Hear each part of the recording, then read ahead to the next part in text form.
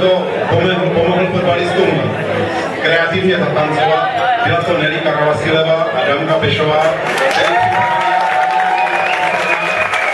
Myslím si, že to byl bohatý kulturní zážitek pro nás, pro všechny. Takže dík patříče